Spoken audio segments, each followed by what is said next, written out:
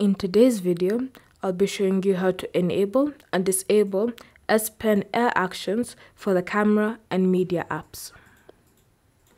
First open settings and under settings scroll down to select advanced features. Here you'll tap on S Pen and you should see air actions with a toggle next to it. Tap on the left panel to access the air actions.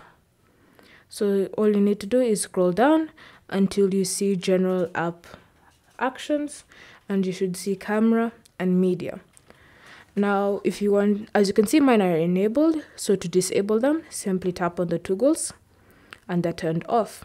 So leave them enabled, simply tap on the toggles again. Thank you for watching. If you have any questions or comments, leave them down below and we'll get back to you.